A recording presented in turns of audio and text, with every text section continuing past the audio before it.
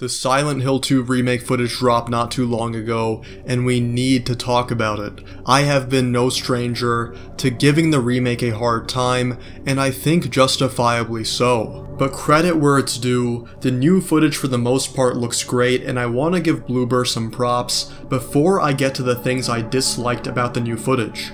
I remember a lot of people were giving the Silent Hill 2 remake a lot of well-deserved criticism over James being too expressive and different from the original James in the mirror scene that happens at the beginning of the game. I was one of those people, and Bloober actually listened and tweaked James to match closer to the original that actually gave me a lot of hope since it seems like they are open to criticism and are willing to make adjustments where they are necessary. Now with this new footage, there is both good and bad. Overall, I think the remake has more positives than negatives, granted though the negative is pretty concerning. Nonetheless, let's not throw out the baby with the bathwater, and let's first talk about the positives of this new footage. The environments look amazing, the designs look good, and I really like that it seems like a actual survival horror game. Let's start with the environments. I really like the look of the locations in the remake, the fog looks great, the detailing is there, and the tone of the original seems to be preserved. There are also some new details, like being able to look at a drawing of the nurses in the hospital that show that Bloober is trying to give Silent Hill 2 those usual horror moments. I think these are good innovations that can add to the base game.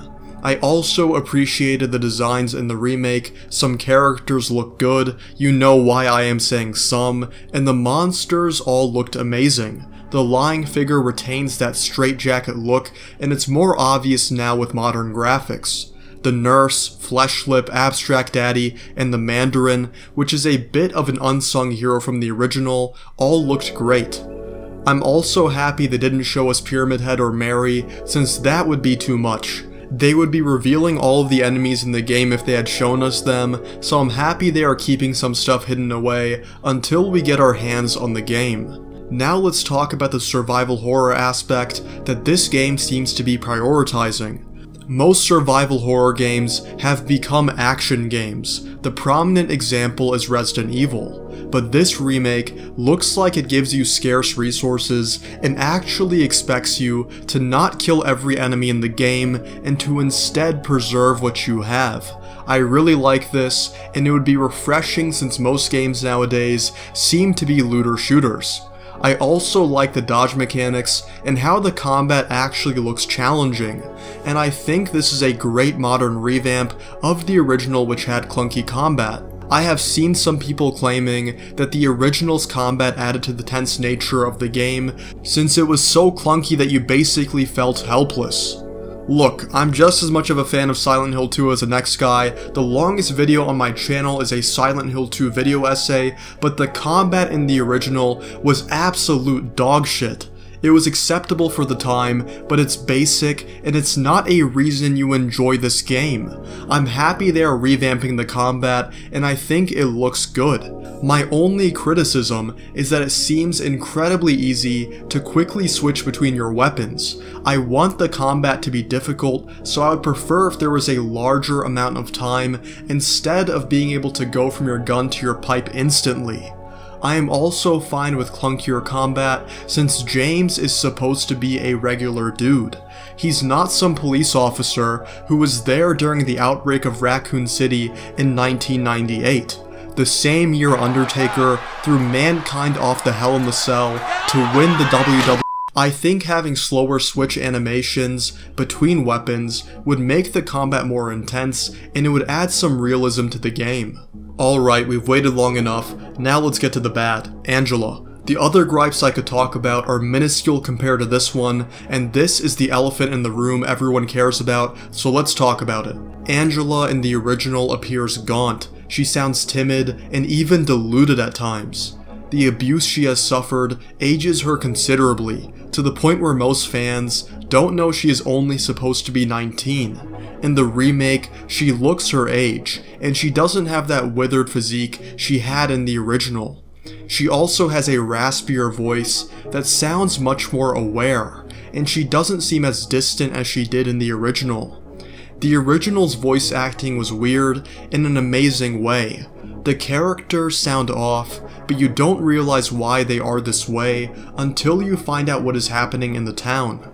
The remake's characters seem much more normal compared to the original, and I can see why people don't like this. I can also understand why Angela's new model upsets people since her original appearance made her look more like a victim of abuse, and the newer version looks more like an ordinary college girl.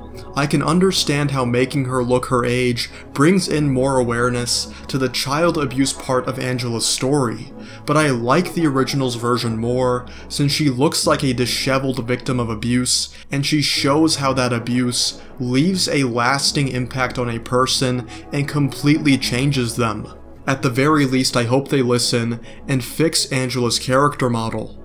And when it comes to this DEI stuff, Silent Hill 2 is not the place to make changes to the characters. I am actually worried we're gonna walk in on Eddie with a bowl of chicken curry at this rate, and I have the rights to say that if you know what I mean.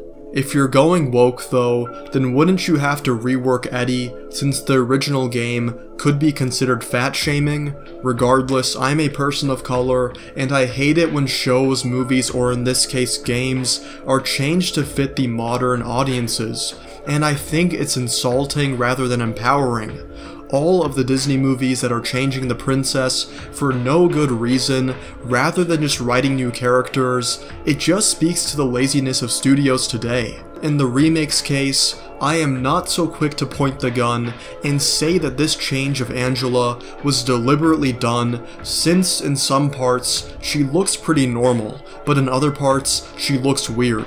But if this is proven to be a change made to fit the woke agenda, then I think that is terrible, and they shouldn't be remaking games if they just want to appeal to an agenda.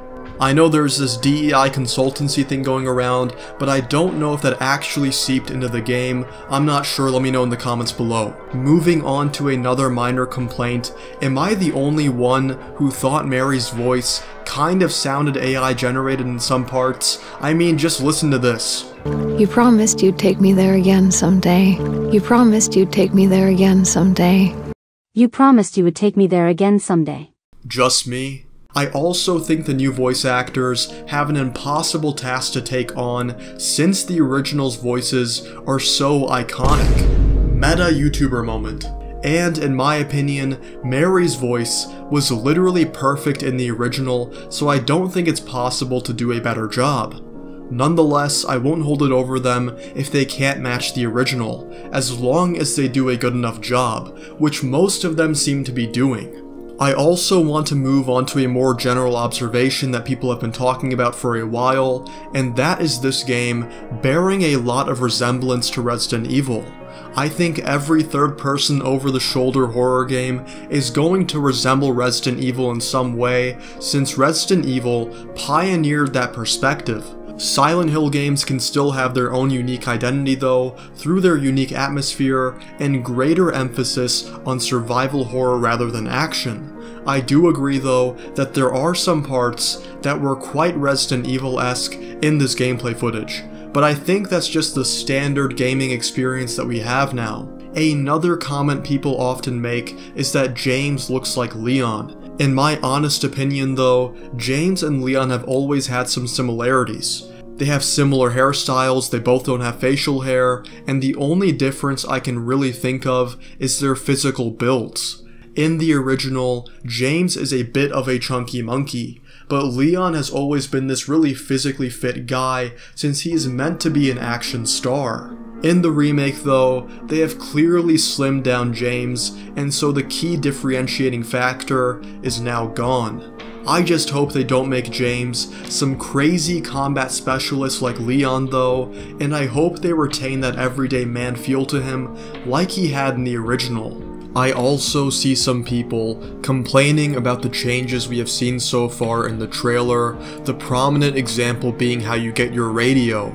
I see some people complaining that these changes are concerning and Bloober could mess up the flow of the game and even lose the symbolism that the game has in the process. I understand how delicate the symbolism in the game is, and I know how slight changes can mess things up. But when it comes to the beginning of the game and how you get your radio, I really don't see any issues. The way you get your radio in the beginning is less natural than the way you get it in the remake. In the original, you go in this area with pipes under a bridge, but James somehow doesn't see the lying figure 5 feet away from him. The house has that scare factor to it, and it makes it more natural as to how James doesn't notice the enemy and is caught off guard. To the people saying, but the original has a hole and James enters through it and it plays into the sexual undertones of the game. It ain't that deep, lil bro. And even if you think this is the case, James enters through a hole in the remake too.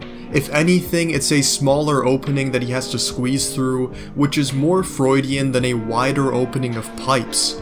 I don't mind some changes as long as it fits the narrative, retains the symbolism, and makes the game feel more natural. Fans in general have a tendency to make something out of nothing, and it's like what's next? Is the first weapon that James got extremely phallic and this is what you're gonna point out as if it's some kind of revelation? Oh my god guys, the first weapon James gets his hands on is a wooden plank. And look at the time of day it is. Look at the way he's holding it. It's clearly morning wood. The game is symbolizing James's erections and the waking hours of the day. What a deep game, oh my god! Overall though, I really like what we saw in the remake footage. The only exception is Angela, which I know is a pretty big exception. But if they were able to tweak James, then I hope they can do the same to Angela. Also when it comes to Maria and the nurses, I've seen some people saying they are too modest, but I still think they get the point across. The only reason I can think of as to why Bloober toned them down is to make the twist more surprising for new players. But considering they are meant to model James's psyche, this is one of the few times where the male gaze is actually necessary. Either way, these issues pale in comparison to Angela, and I think they can fix all of these issues like they fixed James.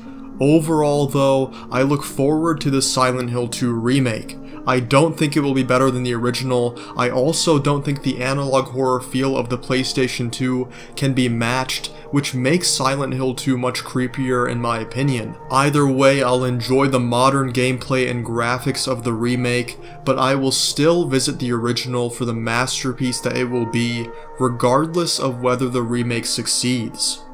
But those are my thoughts on the Silent Hill 2 remake. Let me know what you think in the comments below. Check out my other videos if you can, I work really hard on those, and try to provide original content that you haven't seen or heard before. So please check it out, it would mean a lot to me, thank you so much, and I hope you have a great rest of your day.